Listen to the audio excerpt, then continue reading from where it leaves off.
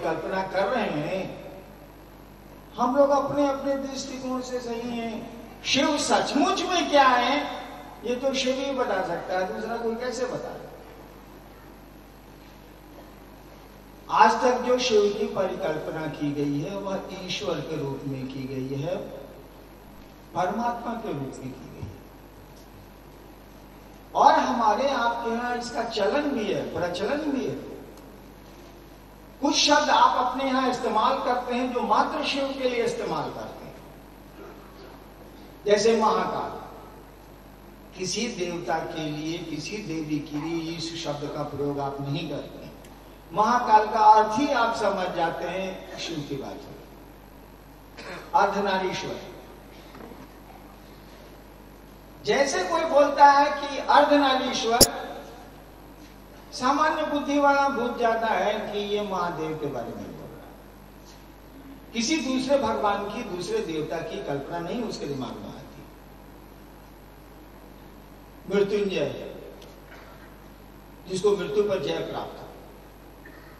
जैसे कोई बोलता है कि मृत्युंजय मंत्र आप बोल जाते हैं कि महादेव का मंत्र ज़रूर होगा, शिव से संबंधित मंत्र होगा। इन शब्दों का अर्थ देखिए तो जरा इन शब्दों के अर्थ को देखिएगा तो ये सारे सारे शब्द ईश्वर की व्याख्या है। ईश्वर के लिए प्रयुक्त होते हैं। महाकाल। महाकाल का अर्थ लगाइए। महाकाल का मनी अकाल। है ना अकाल तख्त? महाकाल का मनी वह सत्ता जो काल से परे one with beyond the time वह सत्ता जो काल से परे है, वो महाकाल कही जाती है। अकाल, जहाँ काल लागू नहीं है, काल कब लागू नहीं होता? समय कब लागू नहीं होता? चलिए उलट के इसको देखा जाए, काल कब लागू होता? समय कब लागू होता? जब कोई चीज़ बनती है, वो दिमाग में बनी या वास्तव में बनी? भौतिक रूप से बनी। जब कोई चीज़ बनेगी जैसे क्षण बनेगी अब उसकी गणना होगी समय प्रारंभ हो गया उसका उसकी उत्पत्ति की तिथि अब निर्धारित हो गई डेट ऑफ़ मैन्युफैक्चरिंग आ गया। कोई चीज़ बनी ही नहीं ना दिमाग में बनी ना भौतिक रूप से बनी बनी ही नहीं। समय लागू ही नहीं हो सकता। बनी ही नहीं तो कैसे समय लागू? महाकाल शब्द का अर्थ क्या, हुआ? वह सत्ता जो सृष्टि की उत्पत्ति के पूर्व से कायम है, वह महाकाल है। क्योंकि सृष्टि जैसे बनेगी तो समय लागू हो जाएगा। अगर सृष्टि के बाद वो सृष्टि हुआ है तो उस पर भी समय लागू होगा। जब कोई चीज़ बनेगी तो समय लागू होगा। कहा गया कि ये तो महाकाल यानी महाकाल है, टाइम के बॉस हैं, कला, काल के अधिष्ठाता हैं, काल इन पर लगता ही नहीं है, यानी कुछ बना ही नहीं है, तब भी वो है। कुछ भी सृष्टि संसार में नहीं है, ना आकाश है ना हवा है ना पानी है, ना आग है कुछ भी सृष्टि नहीं हुआ है, और परमात्मा ने अपने ख्याल में, अपनी इच्छा में इसको लाया ही नहीं कि एक मैं बहुत हो जाऊँ। तब भी वो सत्ता है। ईश्वर है। देखिए शिव की परिकल्पना महाकाल शब्द के संबोधन से प्रमाणित होता है कि शिव की परिकल्पना ईश्वर की परिकल्पना है, परमात्मा की, परम सत्ता की परिकल्पना है। मृत्युंजय, यहाँ हर चीज़ जो बनी है, खत्म हो जाएगी। टूट जाए उत्पत्ति, स्थिति और लय का क्रम चल पल प्रतिपल चल रहा है, उत्पत्ति भी हो रही है, स्थिति भी है, और विनाश भी हो रहा है, लय भी हो कहा कि शिव तो मृत्युंजय मृत्यु पर उनको जय प्राप्त है। इस संसार में कुछ भी श्रेष्ठ होगा तो वो मौत को जाएगा, वो खत्म होगा। कहा कि मृत्युंजय है, ये तो मौत पर इनको विजय प्राप्त है। यानी फिर ये सृष्टि के पहले का देवता। क्योंकि जब सृष्टि हो जाएगी तो टूटेगी। खंड खंड में टूटे, जैसे टूटे वो, टूटेगी। मृत्युंजय शब्द जैसे बोलते हैं, आप, ये ईश्वर का गुण है, और आप प्रयोग करते हैं इसको शिव के लिए। गुण ईश्वर का है। महाकाल गुण ईश्वर का है। मृत्युंजय गुण ईश्वर का है। आप प्रयोग किसके लिए करते हैं? किसी के लिए नहीं करते हैं। जैसे कोई बोलता है, महामृत्युंजय मंत्र का जप करना है। तुरंत आप समझ जाते हैं, ज़रूर महादेव से मतलब शिव से मतलब जैसे कोई महाकाल बोलता है, आप तुरंत समझ जाते हैं। जैसे कोई बोलेगा, अर्धनारीश्वर, चलिए जब अर्धनारीश्वर का मन क्या हुआ? पुरुष भी है और प्रकृति भी है। नर नारी दोनों एक ही है। जब भाई एक जगह से नहीं दू जगह आया होगा। कहा कि जब आदमी नहीं बना था ना तो दोनों फोर्स में एक जगह था। कहा गया तो ईश्वर के पास ना था। वहीं से नहीं ब्रेक किया है, वहीं से नहीं टूटा है, वहीं से ना अलग हुआ है। उसी की इच्छा से ना अलग हुआ है। जैसे आप बोले अर्धनारीश्वर आपके दिमाग में आता है शिव ये परिभाषा तो ईश्वर की है। इस तरह से अनेकों शब्द हैं। जो शिव के लिए आप प्रयोग करते हैं, वो प्रयुक्त होते हैं शब्द शिव के लिए, लेकिन उसका अर्थ होता है ईश्वर। परमात्मा कहा जाता है, ये शिव क्या है? ये महादेव क्या है? ईश्वर की समस्त शक्तियों का श्रेष्ठतम प्रगटीकरण है। इस वाक्य पर ध्यान दीजिए।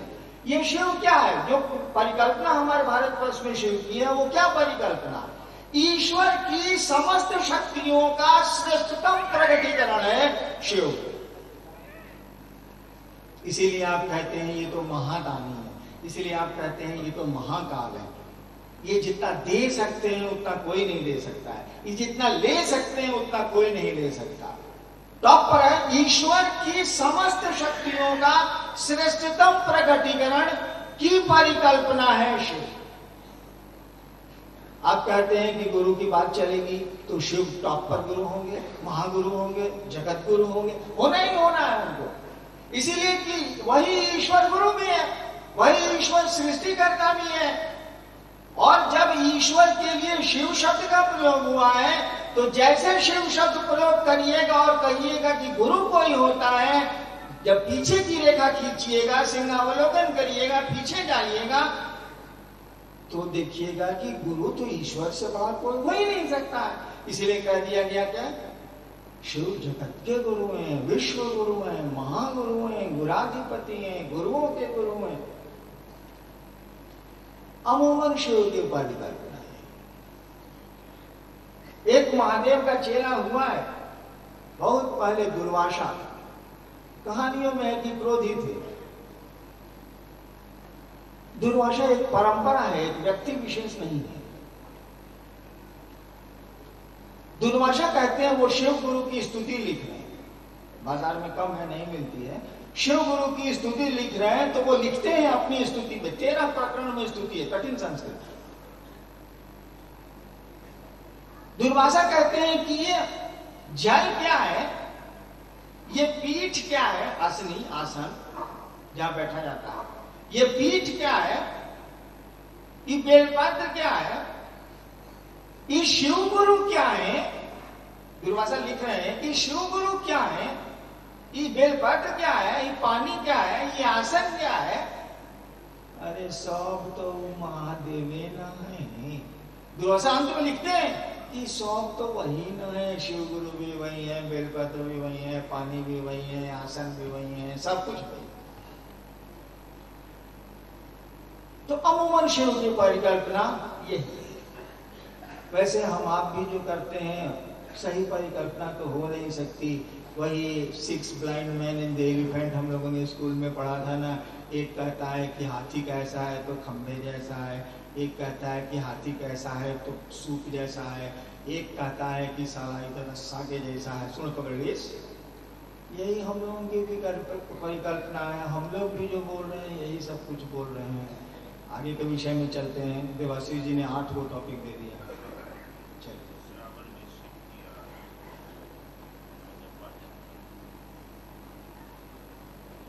श्रावण में शिव की आराधना।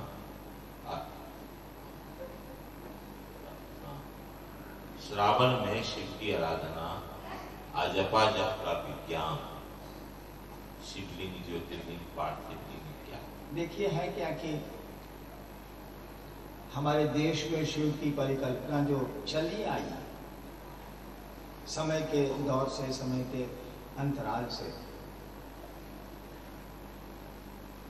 कुछ लोगों ने इसको बहुत अच्छा माना है, कुछ लोगों ने खराब माना है। इसीलिए जब वैदिक काल आया था तो शिव को रुद्र कहा गया। रुद्र भी कहा गया, महारुद्र भी कहा गया। शिव शब्द बाद में प्रयोग हुआ है। शिव शब्द का अर्थ होता है कल्याण करने वाला। शंकर शब्द और बाद में प्रयोग हुआ। शंकर शब्द का अर्थ होता है रक्षा करने वाला या ज्ञान देने वाला। तो रुद्र शब्द का अर्थ होता है रुलाने वाला। या रोने की शक्ति रखने वाला, रुलाने की शक्ति रखने वाला या रुलाने वाला? रुद्र शब्द का ही अर्थ है रुलाने वाला या रुलाने का पावर रखने वाला, रुलाने की शक्ति रखने वाला। तो जिस देवता को कहा जाए कि रुलाने का पावर रखते हैं, कोई उसको बढ़िया मानेगा? जिस देवता को कहा जाए कि सारा ये नोच, जहाँ सटिएगा वहाँ नोच चलेगा तो कहिएगा नहीं जरा इसे कैसे अच्छा नहीं मानिएगा। तो शिव को वैदिक काल में रुद्र कहा गया, महारुद्र कहा गया।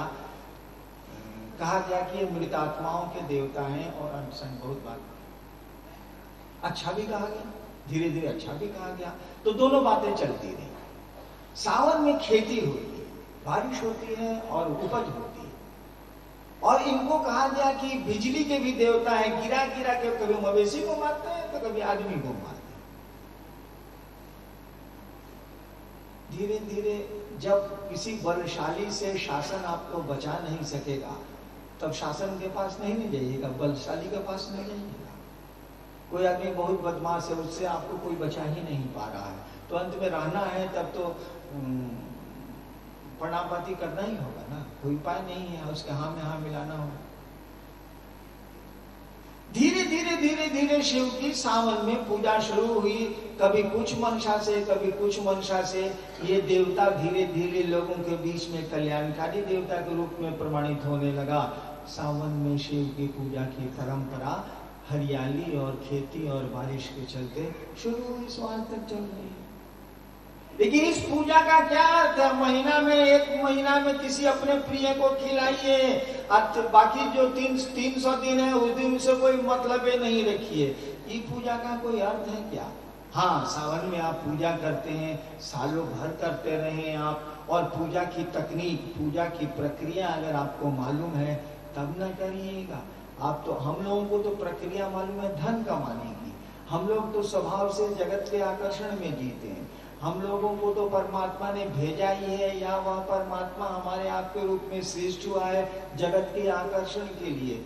जगत का आकर्षण हमारा आपका स्वभाव है, हमारा आपका दोष नहीं है। तो जो स्वभाव होगा उसमें ना हमारी आपकी ट्रेनिंग होती है, उसमें ना हम आप प्रशिक्षण लेते हैं। जो हमारा नेचर है वो करेंगे तो उसे सीखेंगे। तो धरती का सुख पाने का थोड़ा बहुत सबको प्रशिक्षण है, क्योंकि हमारा आपका स्वभाव है धरती का सुख। ईश्वर के पास भी हम लोग जाते हैं, देवताओं के पास भी हम लोग जाते हैं धरती के, संसार के सुख के लिए। लेकिन यह उससे कैसे लेंगे? इस प्रक्रिया का अभ्यास तो हमको, आपको नहीं है। हम लोग का तो स्वभाव है दुनिया, हम लोग का स्वभाव है संसार का सुख। अब ईश्वर से संसार का सुख लेने की प्रक्रिया हमको, आपको तो मालूम नहीं है। एक सवाल इन्होंने कहा है अजपा जप ऐसा जप जिसका, जिसको जपा नहीं जाए। अभी सवाल एक रखा ना अजपा जप अजपा जप का मानी क्या हुआ? ऐसा जप जिसको जपा नहीं जाए। ये जप की प्रक्रिया क्यों शुरू हुई? ये मंत्र क्यों आए? ये भिन्न भिन्न भिन्न तरह की पूजा की प्रक्रियाएँ क्यों पनप गई? इस स्थिति में क्यों आई है? कैसे चली है? कभी सोचा कि मंत्र सारा कहाँ से आया? नम शिवाय मंत्रु मंत्रु मंत्रु मंत्रु, मंत्र।